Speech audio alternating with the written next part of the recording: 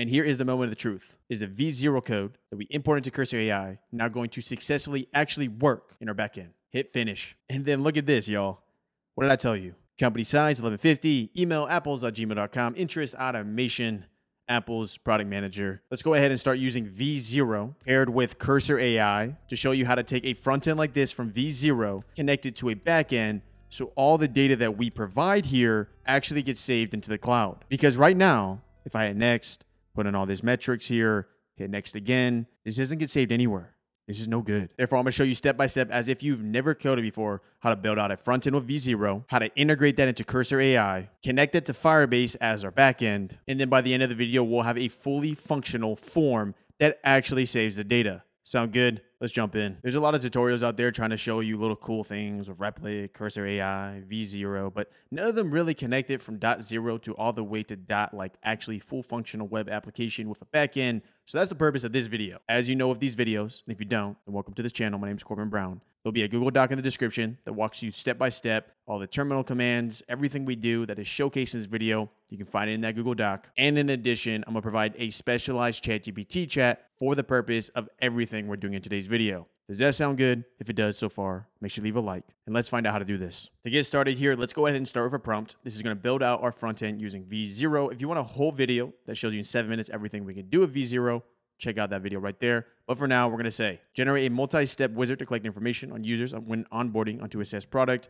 We're going to hit enter here. As we know from past tutorials, you can chat with it to get different code here. We'll be able to see a preview here, and then we'll be able to export this code into Cursor AI. Idea here being that basically spend as much time you want in this stage of the process. Just chat with it more.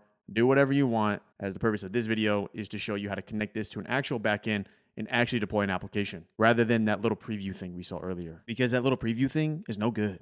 It doesn't work. Here we go. So we have a preview here. We can open it in full screen, play around if you want to play around.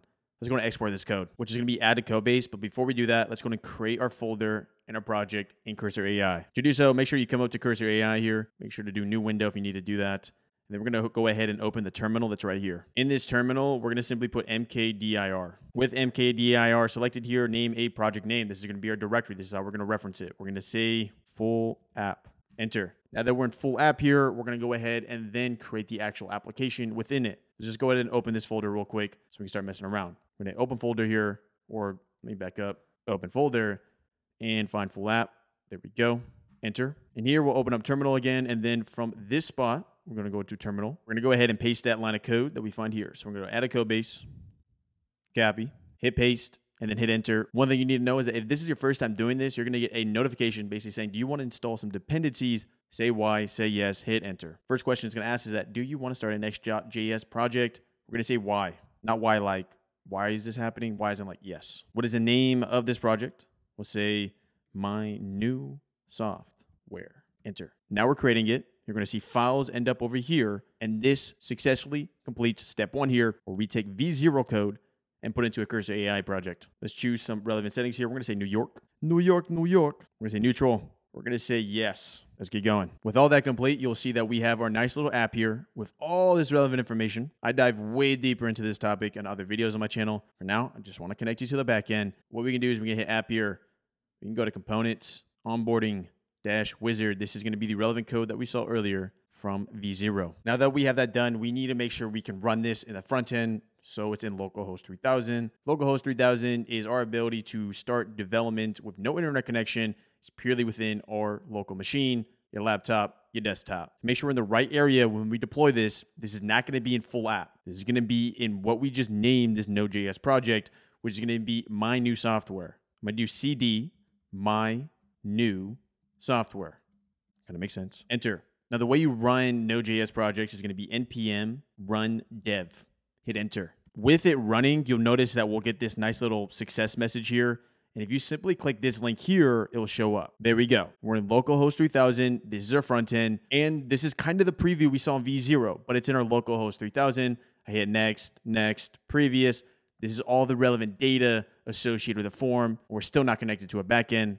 So let's go and do that. So with that running, let's just go ahead and just do some quick code here as there is one thing that this form does that it should do. And that is if I go ahead and put my full name here, but I don't put in an email and hit next, it lets me proceed to the next step. No good. So instead of me showing you like some past methods I've done with my full blown three hour playlist that shows you how to build out an actual website, I'm just going to use Cursor AI. I'm going to hit Command A, I'm going to hit Command K, or Control A, Control K, depending on what OS you use. I'm going to go ahead and say, make it so that in order for me to hit next in the form, all input fields are filled in, submit edit, getting some new code. So what you'll notice now is that it actually identifies the new code. So it deletes the previous code. And then with the green, it shows us the new code. We're going to say accept. And as we love with localhost 3000, I can simply save this. And if I go back to my form, you will notice that I can't hit next anymore because of the fact that we don't have an email. Therefore, now that I put an email in, we can hit next. Can't hit next anymore. Got to fill out the variables. Pretty solid. Now with that change, let's go ahead and get it back in. As a side note, if you want to know how to connect this code repository to GitHub, I'm going to link one of the lessons from my three hour course that just shows you how to do that. Basically, this allows it so that the code you create is in the cloud as well as the local machine you have. This is really good and basically a standard practice with software developers. So make sure you do this step. Once we do that though, we're going to go ahead and begin the process of creating our backend here, initializing it and adding it to our project. First thing you need to identify, anytime you are working within this repository, make sure you're in the right area. Look at that. My path for the right area is going to be full app, where we name the repository, slash my new software, which is the actual app itself. Now that we've done that, let's begin. Come to firebase.com and hit create project. Name this project whatever you want. For me, I'm just gonna say new software. Hit continue. For my purposes, I'm not gonna connect Google Analytics. If you want a video on that, check out my big playlist. Create project. We are creating a Firebase project. Software. Hit continue. First major thing, let's identify the kind of app we're creating. The app we're going to create today is a web app. Therefore, we're going to select web. With the naming of this app, name it whatever you want. Obviously, name it something that's relevant to what you're creating. So I'm going to do new software again. Make sure to select also set up Firebase hosting as that is relevant for you to have a backend that can store data. Register app. This next part, this is going to be blurred for obvious reasons as this is relevant information for this Firebase app. This right here. Or I guess you can't really see that because it's blurred out, but point being is that you'll see a bunch of code there don't worry, I'll show you how to do that. First thing you need to do though is make sure you have Firebase installed. Copy that. As a side note, if any of these commands don't work, such as npm, why isn't the npm command not working? Check out that video right there, 30 minutes long. Shows you from ground zero how to make sure the npm command works. For now though, install Firebase. npm install Firebase. Perfect. It has been installed. With it installed here, let's go ahead and hit new file in the top of our directory here. And I'm to just do firebase.js. I'm to go ahead and copy this code. Copy paste that code. Once the code is pasted here, we're almost there. Now, the rendering of our actual application is done in page.tsx. Therefore, let's go to import firebase.js here. One thing I forgot to do in our Firebase file here is make sure that you export the actual app itself. So we're to do export default app, page.tsx. And then over here, we're going to do import Firebase app. Coming back over to Firebase, do this next command line here. This is going to give you the ability to do different abilities within Firebase. That's going to allow us to do Firestore, hosting. There's other stuff like storage, functions, etc. Paste that line, hit enter. Okay, we are on the right track here. Now that we've done that, now we have the tools, the abilities to initialize different features within Firebase. Let's go and actually log in. So I'm gonna go to log out first because I'm probably already logged in. So I'm gonna do Firebase log out, and then I'll do Firebase log in. What you'll probably do if this is your first time is just Firebase log in. Hit Y here. Make sure whatever account you're logging in up to this point is the account associated with your Firebase profile. For me, it's contact at webcafeai.com. All this information, you're going to hit allow. We've successfully logged in. Now that we're here, we're going to do Firebase init now that we're logged in. No, not Australian init might, just init. Enter. This is going to give us the ability to initialize different things within our project. So first off, let's initialize hosting. We're going to use our up and down the arrow keys. We're going to come down to hosting here. We're going to hit enter. Oh, my bad. Spacebar. Firebase init again. Boom. Enter. Then the next option here of using an existing project or create a new project, we already created the project, so we're going to say use an existing project. For us, we're going to scroll down here. It's going to be new software. Enter. What do you want to use as your public directory? We'll say public. Configure as a single page app. Rewrite all URLs to index.html. We'll say why. For GitHub, we'll say no for now, but I referenced that tutorial earlier that you could watch if you want to know how to do that. And for now, we're to go. So in order to deploy to hosting, we're going to do Firebase deploy. It is deploying hosting. And then in order to see our application here, and let's see if it works, we're going to go and copy this hosting URL, which doesn't seem to be working right now. So let's see what's up. So here we go. I went ahead and got it working here. As you see with our hosting URL, that's right up there.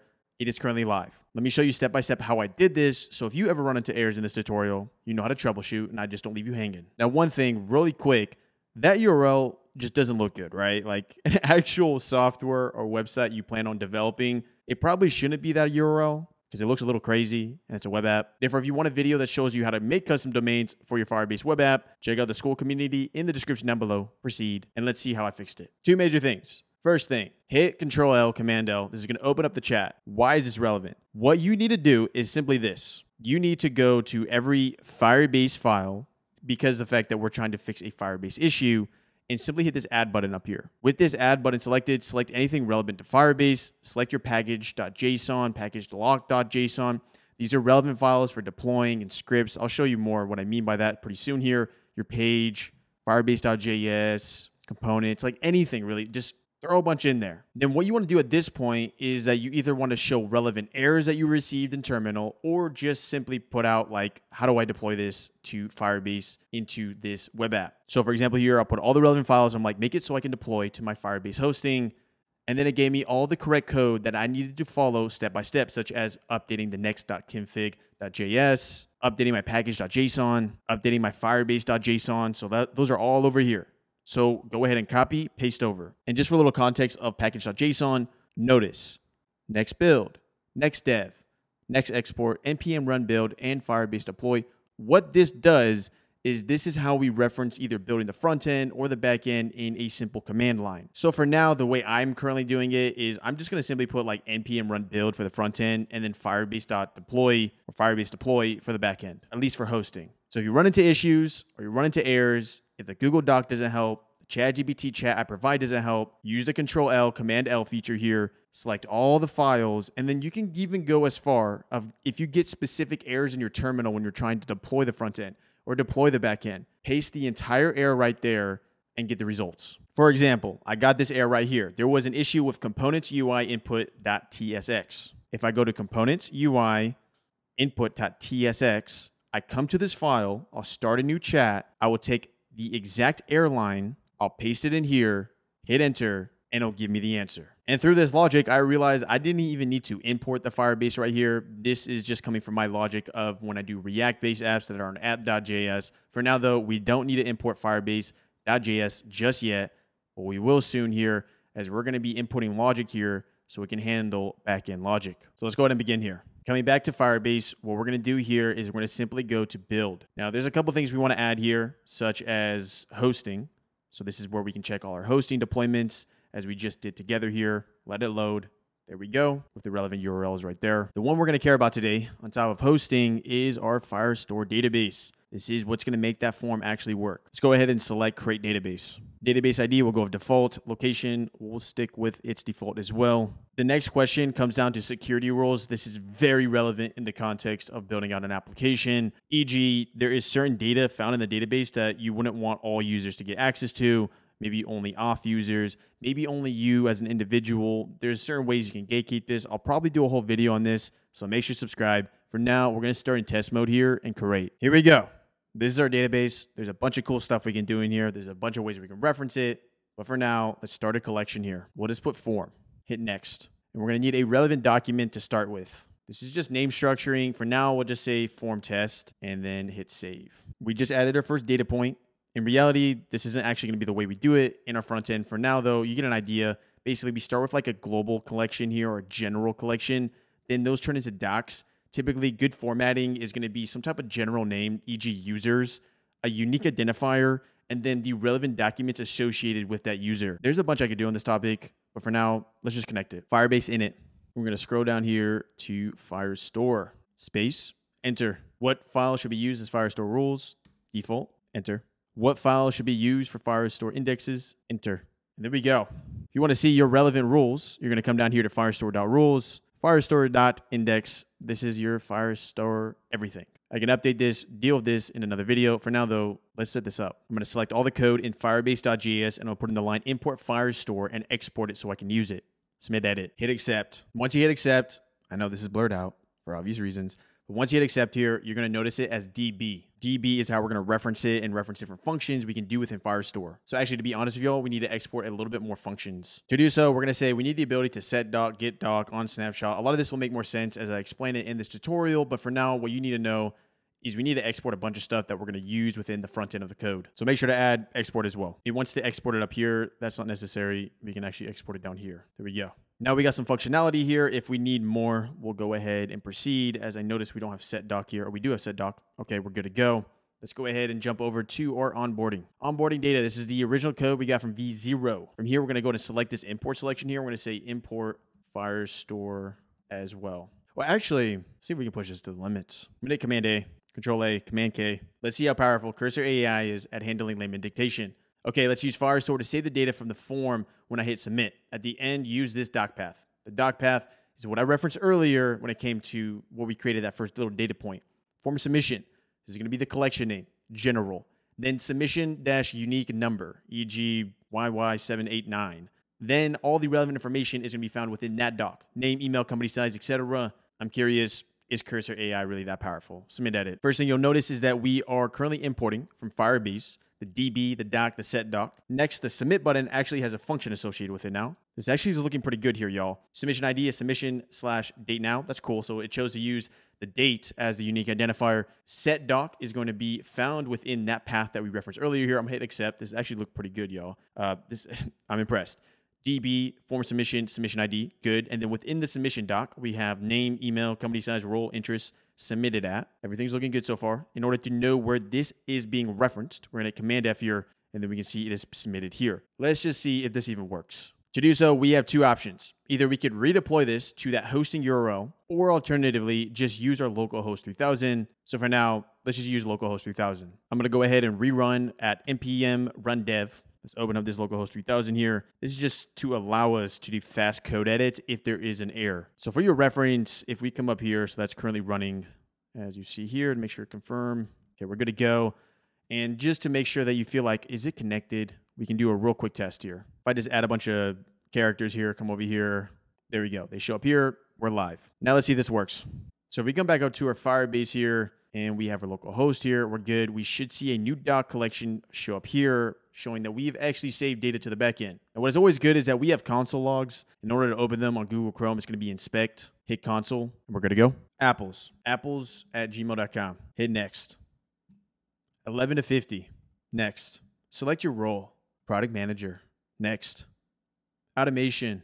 Next. And here is the moment of the truth. Is a V0 code that we import into Cursor AI now going to successfully actually work in our backend. Hit finish, finish. We get our message here, onboarding complete, data saved successfully, but did it actually save? There we go. Form submission, submission with a unique identifier, date now, this is gonna be in Unicode. And then look at this, y'all. What did I tell you? Company size 1150, email apples.gmail.com, interest automation, Apple's product manager, and submitted on October 17th of 2024. If you feel like you learned something up to this point, make sure to leave a like. Couple things. First thing, right now for our current logic, we only needed to reference db, doc, and set doc. That's all we're using in our functions. But as you saw from the original import file, there is a ton of other stuff that you can do within Firestore that's pretty cool. One that is really particularly cool is an on snapshot. And this will listen to an endpoint found within Firestore. And if data exists, you can reflect a different user interface. That might have sounded very confusing. I'll probably need to do a video on that. But for now, we've successfully connected our front end with our back end with a database. I want you to notice as well how we identified the doc path, why that original cursor AI prompt was as it was. That is because the fact that is when you set docs or read docs, there is always going to be like a path, right? So we got our DB, form submission, which I identified, and then the submission ID. Now, right now, we have an alert, and that's the alert you saw. We got that little pop up from Google Chrome. We're good. In theory, we could put a console log here for the payload. There's a console error here, so if an error did incur, we would see it in our console logs and everything about the board in that manner. For now, though, you know how to connect to a backend. I'll probably do more videos on this, so make sure to subscribe. It's completely free. I may put that code you just saw in a GitHub repository, therefore allowing you just to click on it and then just copy and paste the files over if you get lost. So let me know if you want to do that, but make sure you leave a like. Check out my three-hour course that shows you how to build out an entire front end using AI and coding if you want to see that in the description down below. But without further ado, I'll see you in the next video. We have backend data. There is data. Email. Those are two random videos. That's my face. I'll see you in the next video.